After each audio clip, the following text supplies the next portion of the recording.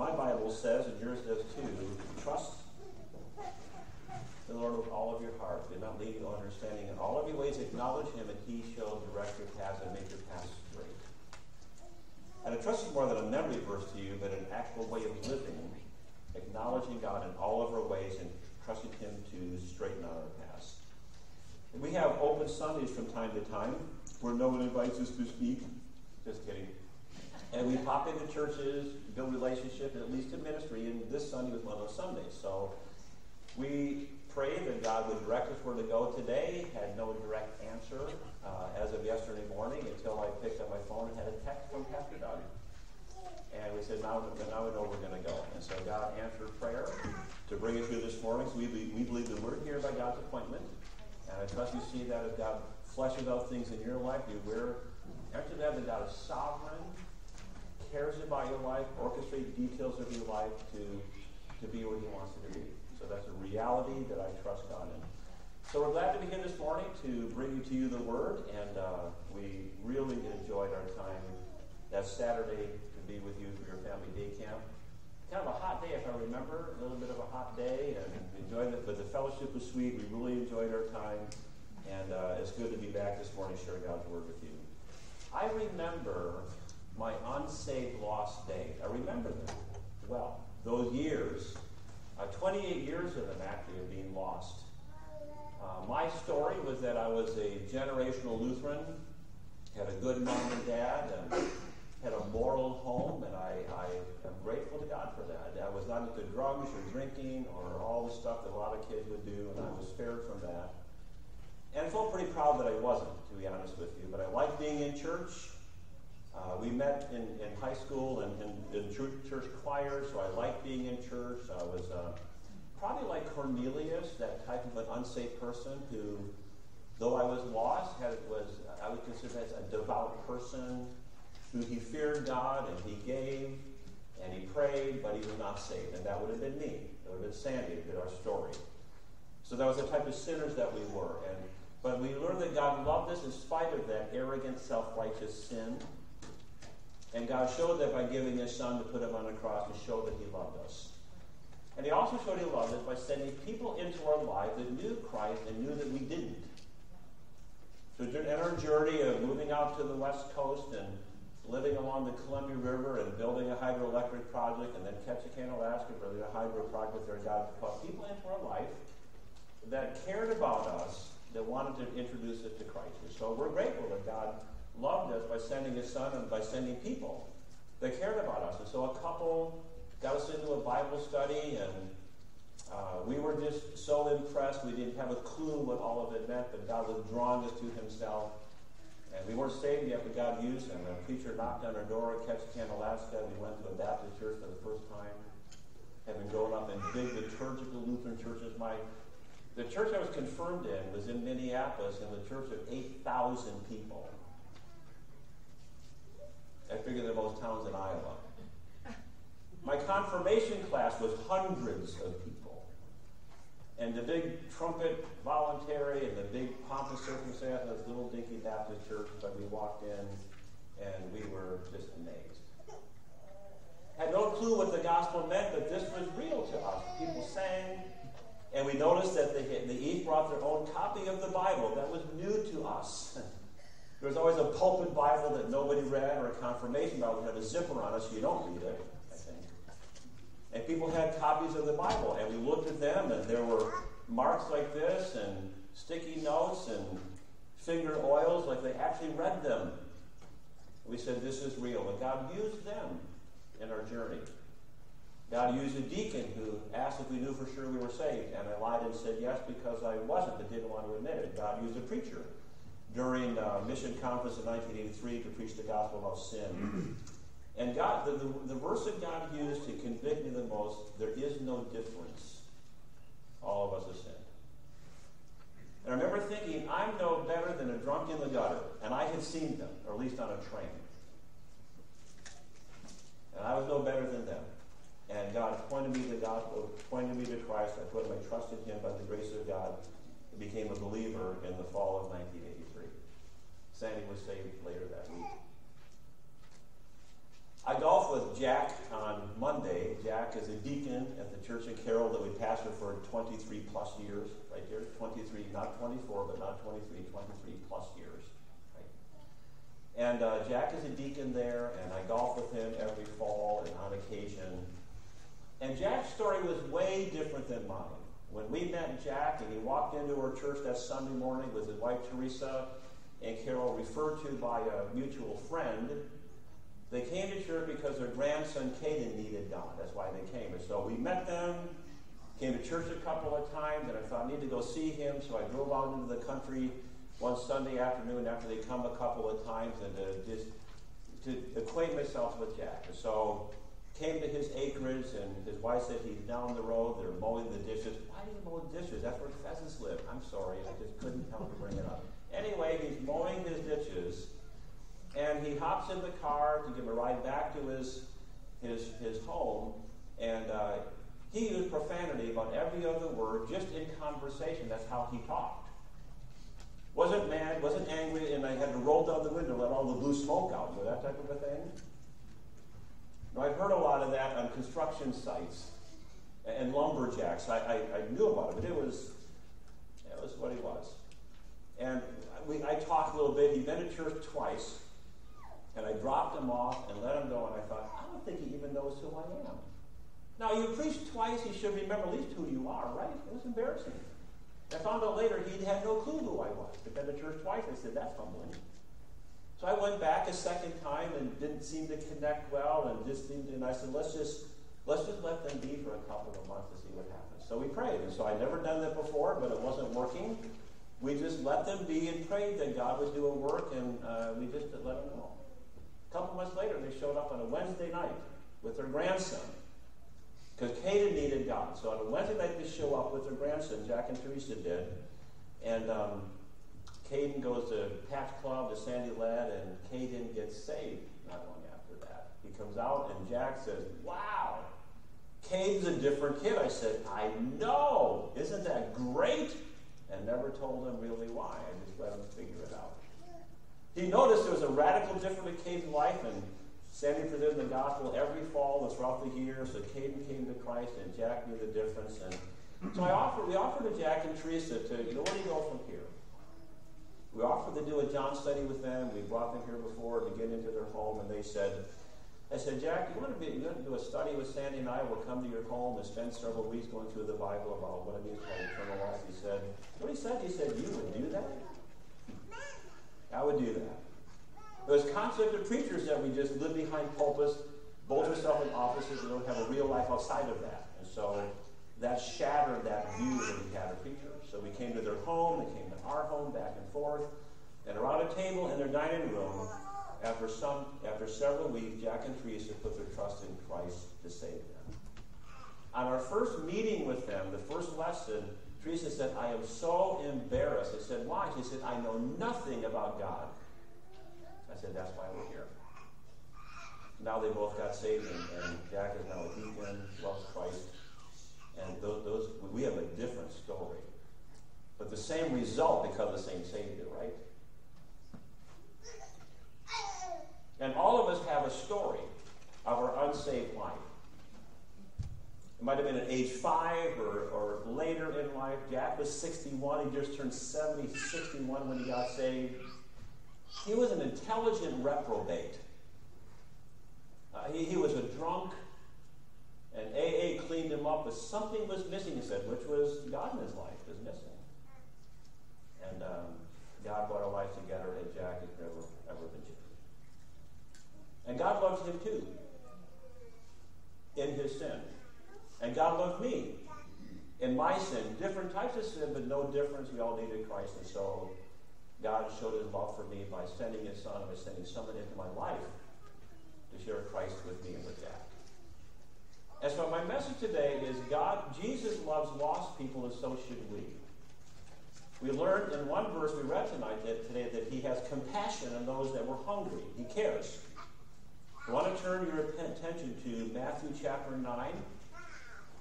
It's an account of something in Jesus' life that showed his compassion for lost people and what he did about it. And if you know Christ, you have a story of how God brought you to his son and how he loved you and how he died for you and how it radically changed every fiber of your being.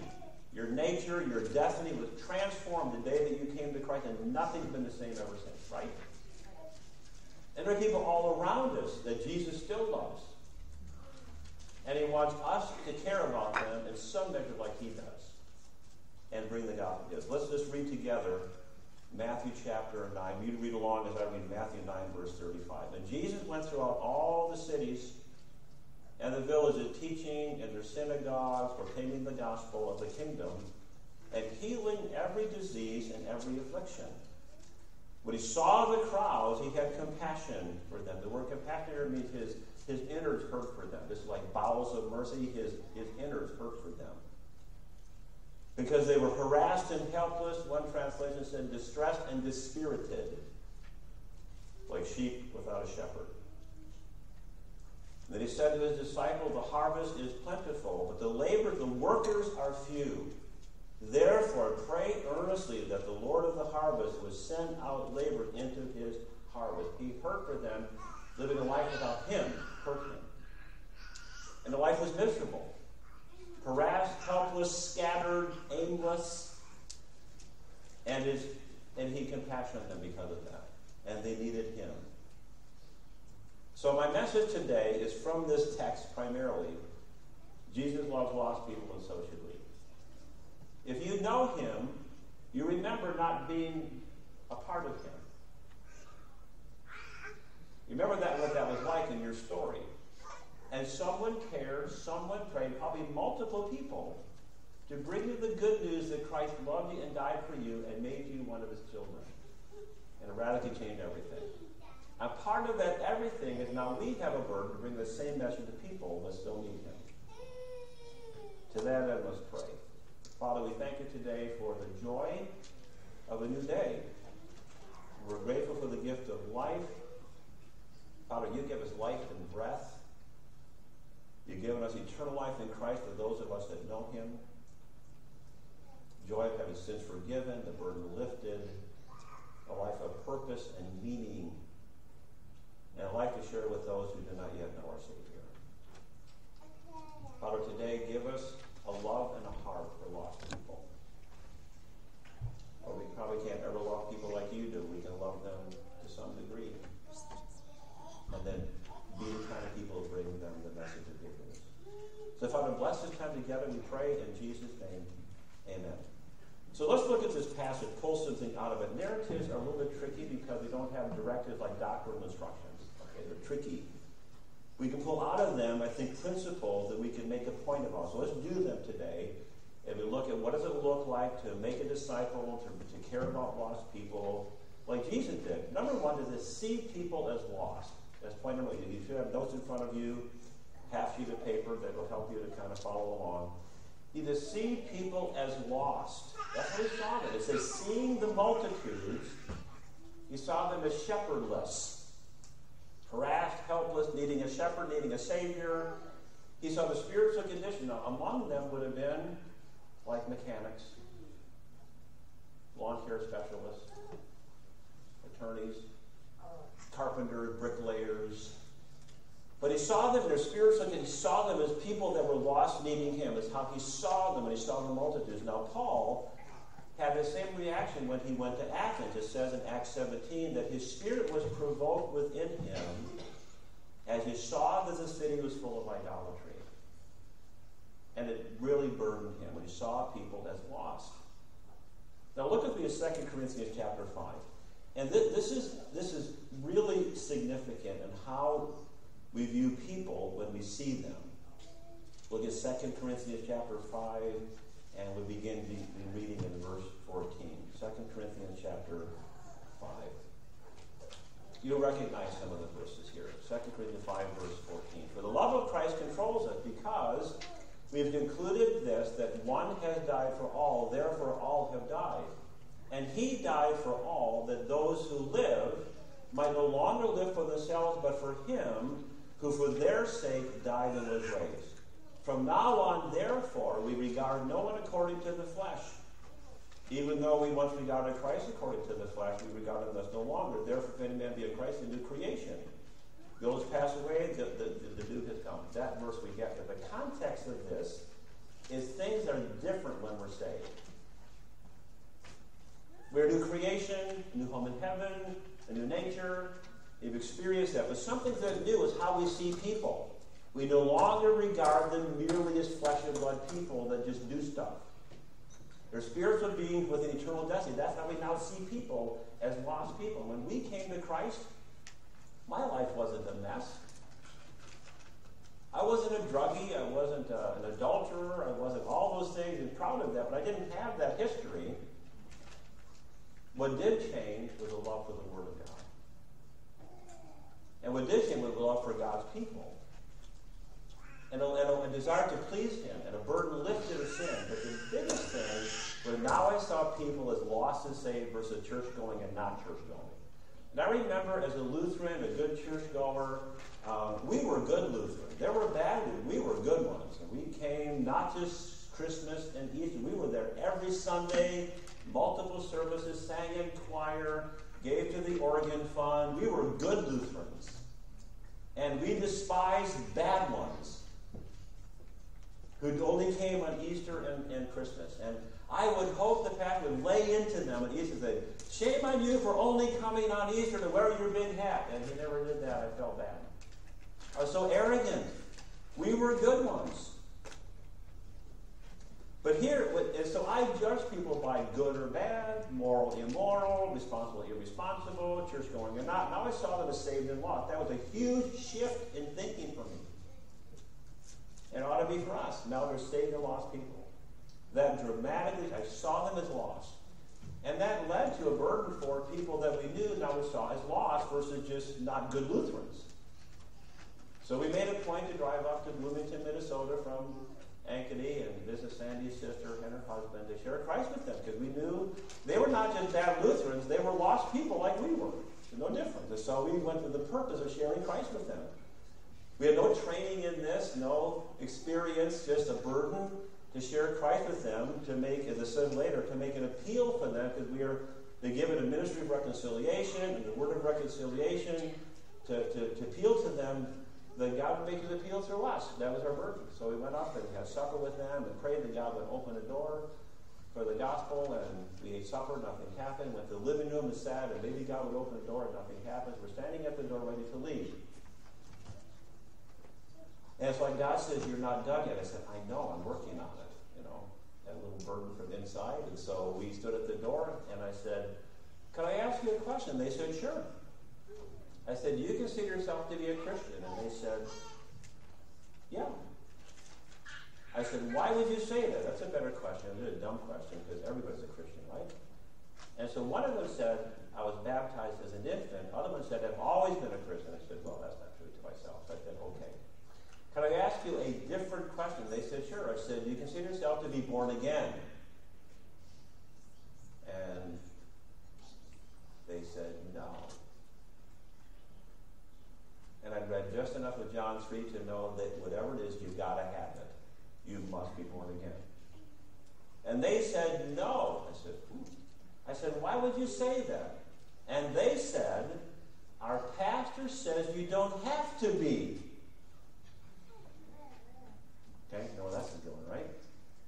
My back is to the door. I can just run off the door and say, see you later. And God says, you're not done yet. I said, I know. I'm working up the courage to ask the next question.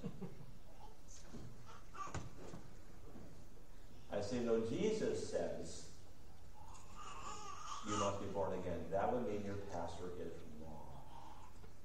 Oh. They kicked us out of the house. They don't want to ever hear it again. They strained a relationship for a while. I might try something different years later, but it was a faithful sharing of the gospel, and sometimes people just don't want to believe yet. And so we left, hoping it had been different. Our relationship has been mended a bit, but still not much come. Now, they've been to our church a couple of times, so they've heard the gospel. Had a co-worker um, that worked with me at UPS. I had a one, one was a Bible college student, a faith married student. Another one was an unsaved Lutheran guy. And he would we would travel together back and forth, commute to work at UPS. That was the job of choice back in the day. And Terry was kind of a captive audience where maybe not like Paul to the Philippians, the jail, not chained to us, but kind of locked in our car for about 15 minutes each way. So we were gracious, but we shared the gospel with Terry about what it meant to be saved and what didn't save you, like good works don't. And I knew he, he's a Lutheran like me. I knew what he's thinking. And finally he said, you know, I get what you're saying. It's not of works, it's not of this, it's only through Christ. But if what you're telling me is true, that would mean my path is wrong, and I can't begin, I can't believe that. And so we pleaded with him more, and we parted ways, and I don't know what happened to Terry, but those were for, but those were first attempts because we saw them as lost people. Our grand, one of our granddaughters, Addie, turned five back in March. And she got saved on her birthday. March 28th, 2022, Addie got saved. And so she was in the Sam's Club parking lot over in Ankeny with her mom, Amy, her youngest daughter, and pleaded with her that she didn't want to go to hell, wanted to go to heaven. And Amy put her off and say, we'll talk when we get home, kind of just defer, because sometimes kids just want to do what mom and dad want them to do. Just careful.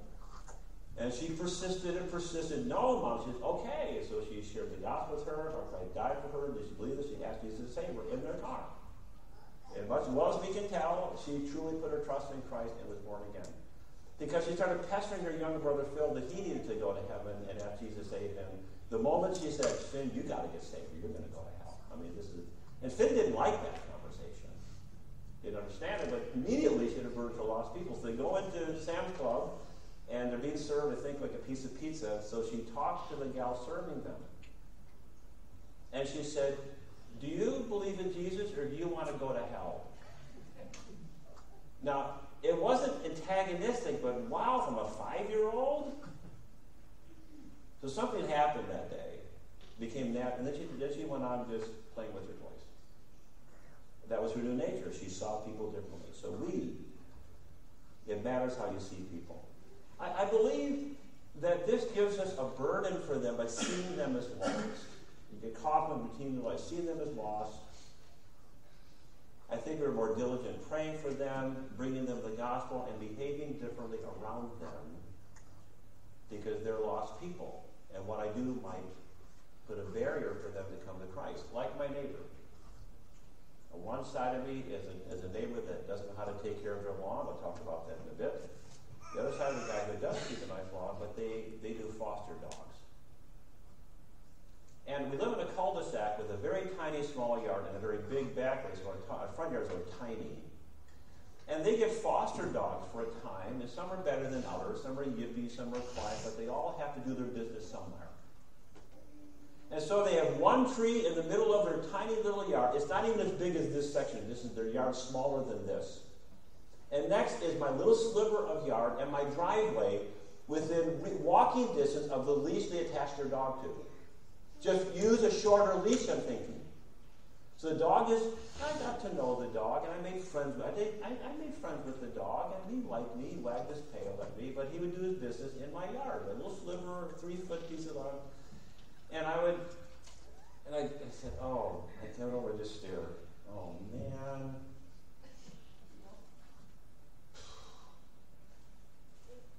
So I thought, what do I do? Three options. One was something I did like 30 years ago in my unsaved days. When that happened, was pick it. Was that 40 years ago? Yeah. So I'm off a decade. Yeah. I'm feeling young today. Oh, yeah. to my shame, I took that pile and put it on the guy's doorstep next door and tell him I didn't like this. Never saw the dog again. I said, Well, I'm not going to do that. That was just wrong.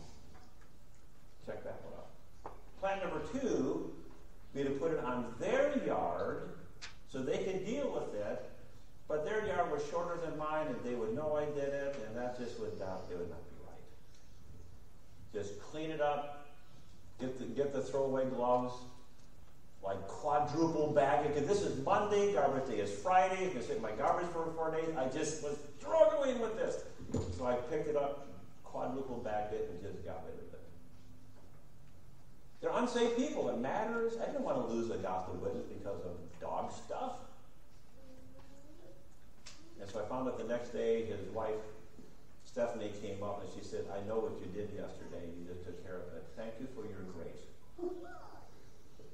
I came home late, noticed that out of your yard, was going to pick it up. I ran out of time. Thank you for just taking care of it. I appreciate that. I said, that was a phone call. It makes us act differently around them. Have to see people as lost. Number two, we have to serve them. Jesus was serving these people. If you look at Matthew chapter 9, go back to our text, Jesus was serving them. And he came not to be served, but to serve and give his life a ransom for many. It went beyond the cross to serving people. He fed them, he healed them, he, he ministered to them, he cared about their physical and emotional and spiritual needs. He served them.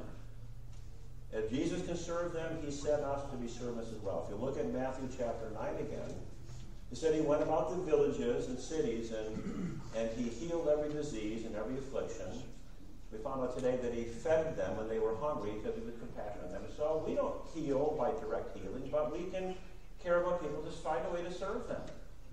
We don't always think about the gospel as a, as a way to serve people, but we, maybe before we tell them about Jesus, we show them that we love them and we find ways to serve them. Paul did this. Look at look with me in in 1 Corinthians chapter 9.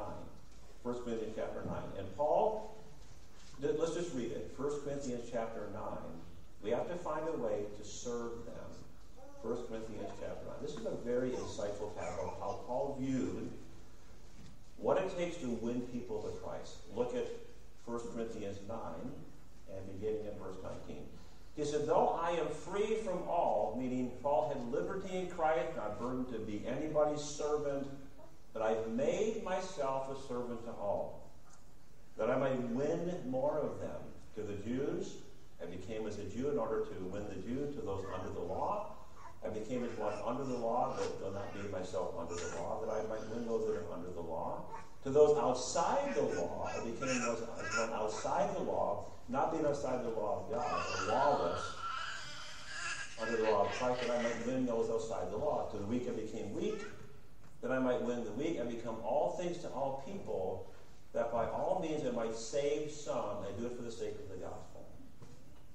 The key phrase is I say, made, made myself a servant of all. What this does not mean that the end justifies the means, that when we compromise was in order, we don't accommodate sin or condone sinful activity. We don't become a lawbreaker to win people to Christ. But it does mean that Paul's heart was to win people to Christ, and he never lost that. He's willing to sacrifice his personal freedoms and restrict them and maybe limit them to reach them. He's willing to accommodate social customs different than his to enter into people's life to win them. You may have heard of the missionary Hudson Taylor back in the 1800s, who was from England, had a burden for the Chinese people, so he went to China and he dressed like he would dress in England as a preacher, which at that point was a black flowing robe. That was his approach in China. He found out when he went to village to village that they referred to him as the Black Devil. That's not going to work. He said, It's my robe. So he got rid of the robe, shaved his forehead, had a big ponytail coming down, and had and wore what a Chinaman would wear in the day to look like them. He lost a lot of his base of support in England because they said, We don't do that. We want to make them like. I said, No. This is what drove him. He became, in a sense, one of them to win them. And, and, there's records that hundreds of thousands of people came to Christ during his 30 or 40 year ministry. And then there's results of that even to this day. Be willing to mingle with people, enter into their lives, people that are different than us, to get outside of our comfort zone for the sake of the gospel. To make ourselves a servant. How can I serve people to win them? Somehow enter their life, care for them, serve them, to find a connection, if God would open a door. It's not usually on our thinking to think this way, but we have to find a way to serve them. I've got a pastor friend who's always had a burden for people evangelistically, but his method approach was typically a big church event to get people to come to, like a Sunday school push and other type of thing, which was fine. But it just wasn't producing much fruit. It just didn't attract many people. And so we had talked about, as a fellowship, connecting with people on a personal level, getting involved in their lives, and making it personal instead of institutional. And he began to see a different approach to evangelism. So he said, you know, I need to try to reach my neighbor by befriending them and serving them. So he, he thought, you know, he just brought his neighbor broccoli in their garden. That was new to him. That led to a Bible study, the husband got saved, the, the wife had been saved, and it became a new way of approach of He bumped it next level. He, he has an EMT friend that he wants to reach with. So he rides along in his ambulance. Uh, I, I, would never do that. But he rides along in the ambulance, and there are levels of certification, I guess, among EMTs. One is you have to learn how to put in IV. The next level is put an IV in while the ambulance is on the road. That's the next level certification, which his friend was not getting. Uh, just imagine IV and like this. And so he said, you know what? Just jab me. Jab me till you get it. I'll ride along. I said, wow, that's this. He's serving him, entering in his life. Said, you just poke me till you get your certification. He understands it to serve him. So we have to find some way to serve people to try to win them. Number three, we have to spend time with them. And so we see them as lost, we find a way to serve them, and we spend time with them. Jesus spent time with lost people. He, he didn't sin with them, but he could sit with them. You look here in Matthew chapter 9 again, that he went about the villages and the cities and he interacted with them. And even earlier in, in that chapter, in Matthew chapter 9, if you look at verse 10, uh, it says, And Jesus reclined at the table in Matthew's house. He ate with them. And behold, many tax collectors and sinners came, were reclining at Jesus and his disciples. He was eating a meal with sinners. Of course, the Pharisees couldn't stand it. And when the Pharisees saw this, they said to the disciples, Why does your teacher eat with tax collectors and sinners? Why does he, why does he mingle with them? And when he heard this, he said, Those who are well have no need of a physician, but those who are sick, go and learn what this means. I desire mercy and not sacrifice, for I came not to call the righteous, but sinners to repent. He had friends who were sinners. He was called a friend of sinners. He was your friend before he was your Savior. He even invited himself to someone's house. A little guy by the name of Zacchaeus wanted to sing the song for you memory? I'm going to your house today. I couldn't resist a little bit of it. And Zacchaeus said, That'd be cool. Zacchaeus was interested, hungry. He came to his house, and his whole house came to Christ. You can invite unsaved people to your house. In fact, a good way to connect with people is invite them to, into your life a little bit. To your home, to meet your family, and just have a meal, and that's it. That might just be it. Don't even have pressure to share God with them. It might be too early. If you're going to die, you need to tell them. But maybe that's it. You invite them to your home, and we like when they come to church. I would like to have things here where people come to church, and God will bring some in from time to time. We lived in Carroll, probably two thirds of people that were saved were people that came to church. But none were saved at church. They're saved in their home or our home or someone else's home. There's a whole world of people that never come to church until they're saved. In fact, that's kind of in the process of going making disciples. We expect them to come here. We have to go to them. So some ought to have to be a place to connect with them. And that can be an activity, a recreation, or maybe even your home. Invite them into your life. Have them over for a meal. Offer them something to help them. Go to the activities of their kids, even if it's soccer. Oh. Not my favorite sport. Go to their kids' soccer games. Find out what they like to do and get interested in what interests them. Don't you like it when someone does it to you? And, and our neighbor across the street, his name is TJ, and we have a common interest in camping and shooting, and so we're building on that. And he just bought a food truck. quit a job, and his wife is from the Philippines. They want to have, it sounds cool, like a, like a pulled pork Hawaiian, you know, Southeast Pacific style. So I said, she told about his food truck, it's sitting in the driveway, the details aren't on yet, but I'm interested in his food truck, not just for the food. But that just sounds pretty cool, so I care about his food truck. And so I don't know where it's going to go, but I want to spend time with him. And so we're talking about his food truck in, in the cul-de-sac. You have to spend time with people, and maybe it's being interested in what interests them.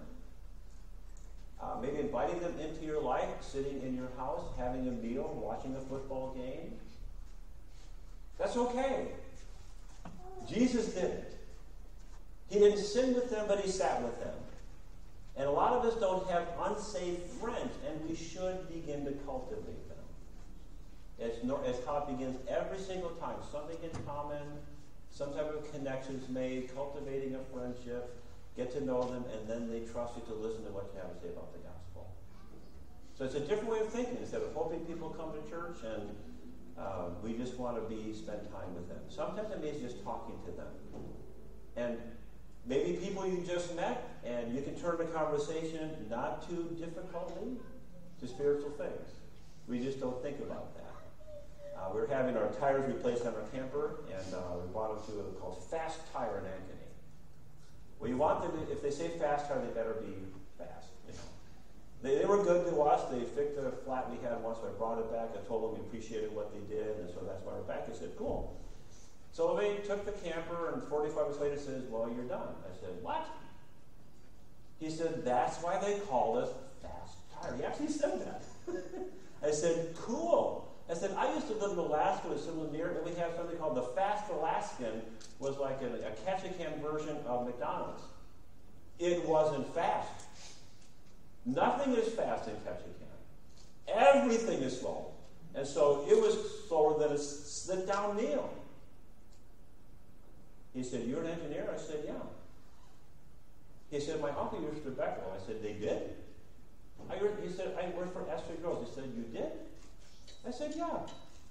He said, Well, what brought you here? I said, Well, I got to share my whole story of how I got heard the gospel, how I got saved, how I was a pastor, working with churches, and it was a start. By mentioning, oh, I know a place that says fast that isn't fast. It's just, you know, you pray and you say, Lord, open a door today. And I prayed that day. I prayed every day, Lord, give me some conversation with people today. And they're there all the time. I'm normally too busy to even mess with it replace my tires, do a good job, and I'll go home. And that's how I live most of the time. And shame on me for that, because there are open doors all, the, all over the place to bring a conversation, to just talk with them. And I found more people willing to just have a conversation than are not. Uh, putting away our camper um, last year, and um, putting it away on a nice fall day, and as enjoying it. And through two or three campers over, a guy was putting away his camper, and I said, "Okay, I just need to at least introduce myself." So I did. I wasn't going to. Didn't want to mess with it, but I did. So I say, "Hi, I'm Tim," and he said, "Hi, I'm Jeff," and I said, "How long have you been camping?" We finally camped in several places, and I asked him what he did for a living, and said, "Well, what do you do?" I said, "Oh." I can tell you that. but got the whole story again. How I used to be an engineer, heard the gospel, got saved, I worked with churches, and I used to be a pastor. I said, Ankeny Baptist, one of our churches, Community Baptist, one of our churches. He said, you know Sean Lumberg? He's the pastor of Community Baptist Church. And I said, Yeah. He said, I'm his neighbor. I said, Cool. He said, He's a cool guy.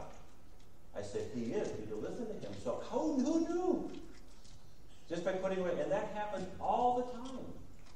You have to spend time with them, invite them into your life, do something for them, just speak with them, spend time with them. Number four, have to be strategic be strategic. You have to have some type of plan to take initiative. It isn't just going to happen typically that we get involved in people's lives. It can become that way, but in the beginning we have to be strategic. Even Jesus had a plan. He said, I must go through Samaria in John chapter 4. I have to go through. There's a well there. I'm going to meet people there. And he met the woman at the well. She came to Christ and spread the word, and all sorts of people got saved. So I would ask you, what's your plan to connect with people, cultivate a friendship, engage in conversation, point them to Christ. What would be your plan for that? And most people don't have one. Paul usually had a plan. He went in Acts 16. It said that he, on the Sabbath day, he went outside the gate uh, of Philippi by the riverside where he supposed there was a place of prayer, and he sat down and spoke to the women who come together, and Lydia got saved. He said, I think there's people praying. Let's go where the people are and see what God's going to do. The scripture says, The heart of man plans his way, and the Lord directs his steps.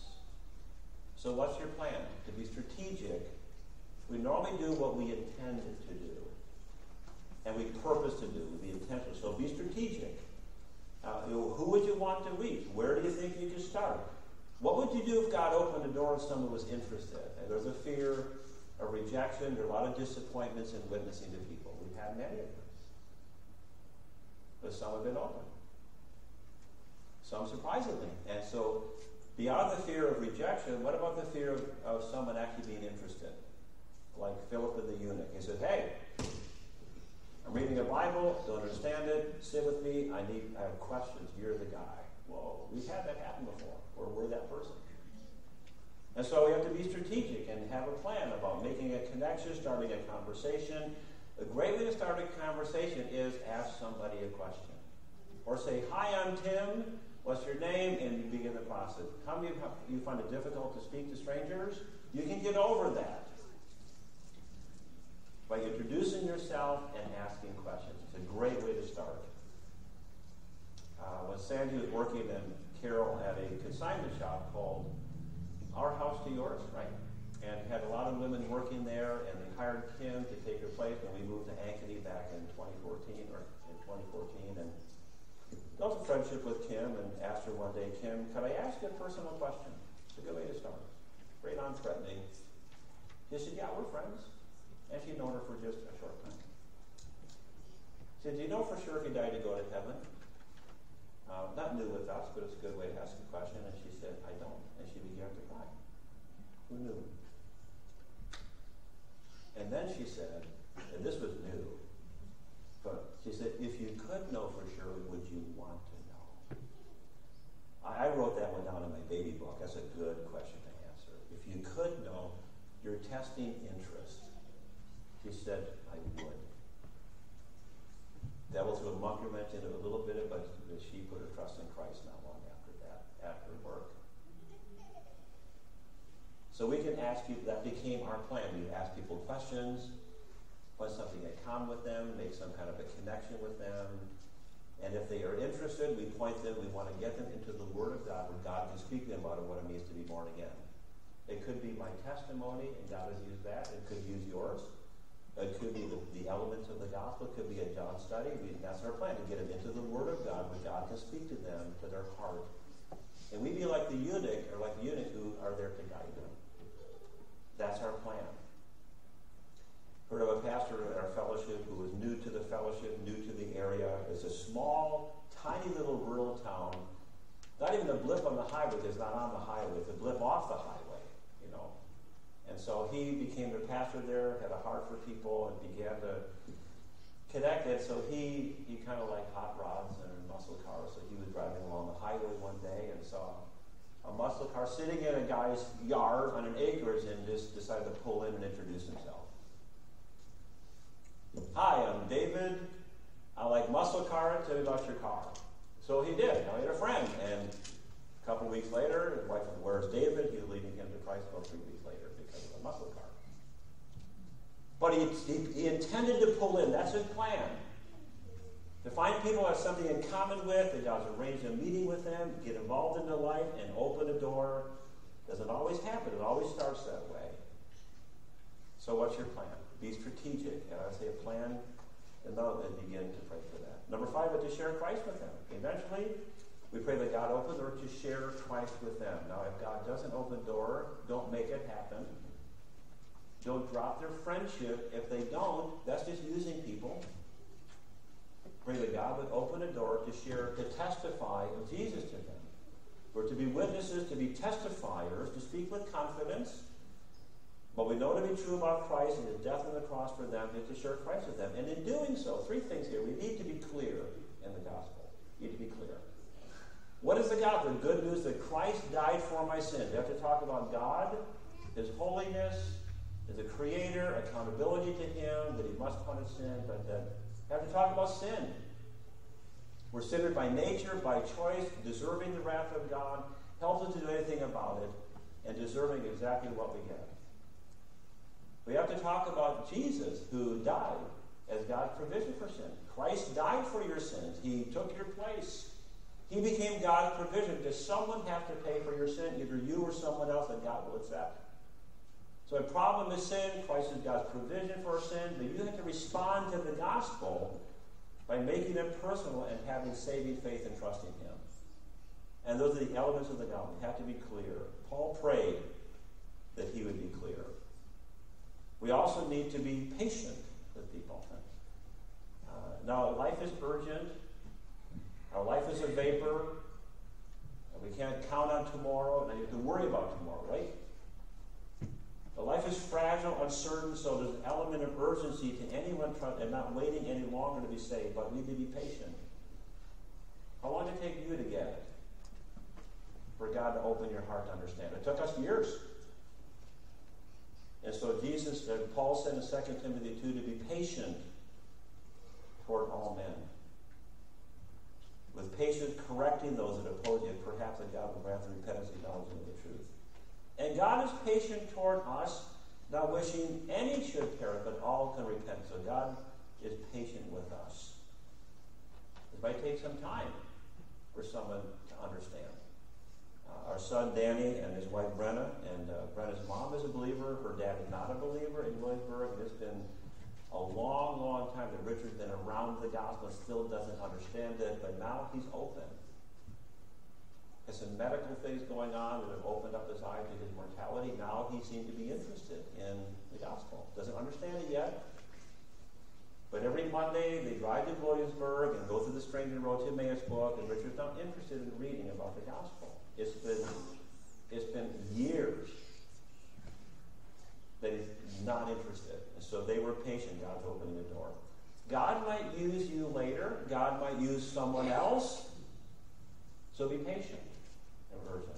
And also, let's just, just be confident. Uh, be clear and be patient. Be confident.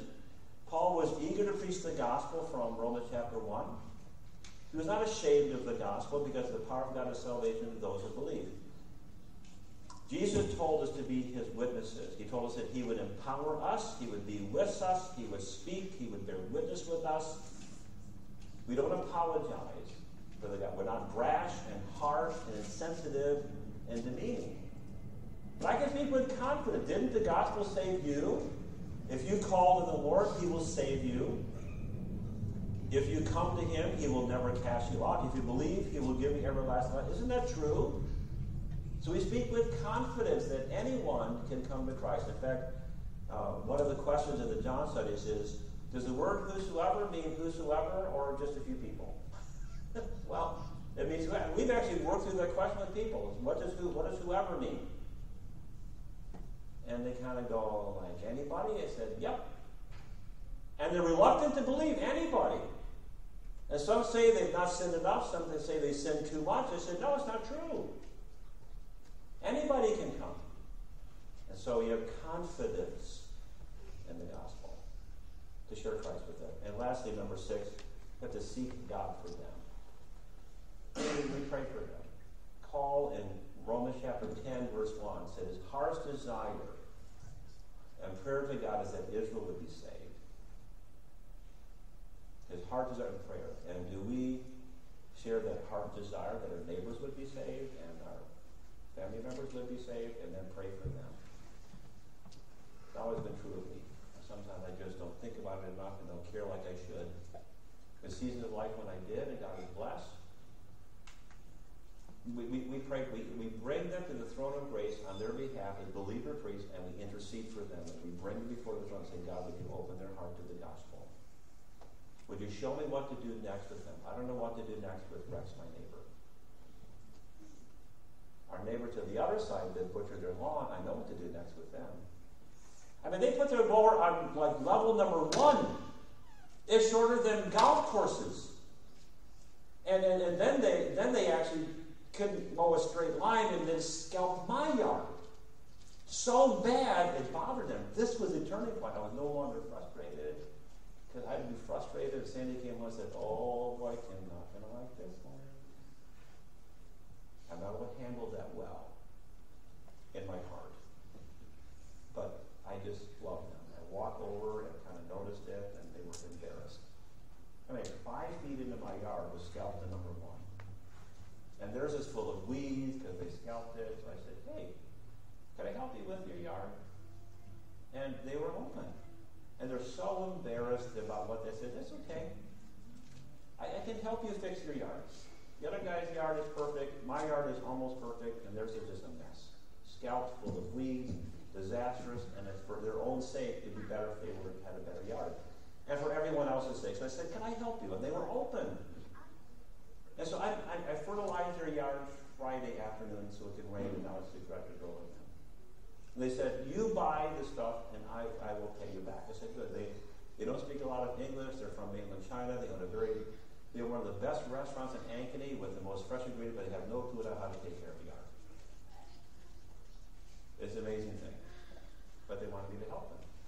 So I mowed their yard, put down the fertilizer, and they were all, I said, could I help you? And so I am helping them. The next step is to kind of fix their yard, get over the language barrier, and see if God open a heart to so why would you care about your neighbor? That's our plan. So we're praying for them. Paul prayed that his words, words would be given him in opening his mouth boldly. He prayed that God would open a door for the word to make it clear how he ought to speak. Paul prayed for boldness and clarity and open doors with people. And so I'm praying for them again. I wasn't for a while. I just too bitter in my heart about how they were messing with my yard. That terrible. So who are you praying for? Um, how about praying that God would give you someone to care about? Maybe you don't know who that is, or that God would give you an open door with a neighbor that you know but don't know how to get to know better. I don't have a clue what to do with Rex next door. I, I, I don't know what to do. He's kind of lives in his own world, is not personable, is just kind of like a grouchy grump all the time, and I, but I don't know what to do next. So I pray, God, show me what to do with Rex. Jesus prayed that we, he said, pray that God would send more laborers. The harvest is plentiful, and the laborers are still few, but you and I can be one of the few. You know, we're his workers, we're his witnesses. God makes his appeal through us. Salvation is the work of God that only he can do. But he needs workers. So we pray for workers and boldness and open doors and clarity and wisdom and pray for people by name during prayer meeting time. Pray for your neighbors by name. We have been to many, many churches, and not a criticism, just an observation. I guess it is a criticism. I confess that. We, we, we've seen sheets of paper of prayer requests, and not one mention of praying for lost people. Either in general, like the token pray for lost, or people by name. And, and just first name. There doesn't seem to be a burden for people that are. Paul had a heart desire for that. No interceding for them publicly, no rejoicing we were getting to know Mandy and Todd years ago, and we had our church family pray for Mandy and Todd. We had a friendship with them through our daughter Amy, and, and God opened the door to do a John study, and they came to Christ one by one. We had our church family praying for Todd and Mandy to know to do what, what's next with them, and you can too. So we, we bring them to the throne of grace, ask God to do a work in their heart, what to do next with them, what, how can I serve them, how can I spend time with them, how, how can I develop a friendship with them? What can I do next with them? And open a door of their heart so they become eunuch and want answers. We don't do enough of that. I don't do enough of that. And we should. So we seek God for them. And these, I think, collectively is what Jesus did in having a heart for lost people. We see them as lost. We serve them. We spend time with them. We be strategic. We share Christ. And we seek God for them. And this is a good template for how to show our love for lost people. There's plenty of people that need Christ. Most people do. The way is broad that leads to destruction. So most of the people you know are not believers. not a church going culture primarily, but it's a culture that people still need Christ when we bring the gospel to them. So I'd like you to, today to think about what that could look like for you. And maybe it's to begin to, to pray for people by name, uh, how to spend time with people, how to serve your neighbor, who could be on that list of people. Ask God to give you someone to work with that would be open. And begin to pray and commit to have some type of a plan to bring the gospel to people. God doesn't, I'm a former engineer. My mind thinks logically most of the time. And we always have like plan A, B, C, D, and E just in case. That's how engineers' minds work. God doesn't have a plan B for the gospel. It's us, redeemed sinners. And these jars of clay are, we are his workers. He makes an appeal through us. Isn't that amazing? Humbling and terrifying at the same time. So we're it. And you have people that are in your world or could be in your world if we would have a burden for them. And I needed to. Encourage you today to make some type of commitment to the Lord. Say, Lord, I'm, I want to do this today. So let's pray. Father, we thank you today for Jesus Christ who loved us in our sin. That you loved us in our sin to send to him to redeem us from our sin that while we were yet sinners, Christ died for us. None of us was good. None of us was righteous. None of us was seeking after you. You sought after us. You sent people into our life who cared about us, prayed for us, with great nervousness of heart and anxiety, at least invested in us to bring us the gospel. And because of your grace, Many of us came to Christ. There might be someone here today who isn't a believer. Pray that they would think about that before we go home today. About the, their need for Christ. But Lord, we thank you that you love us. Help us to love people like Jesus does. Have a burden for them. And to bring the good news that we have good news to share the people that we know. Help us to be those types of messengers to have a burden for people. We pray in Jesus' name.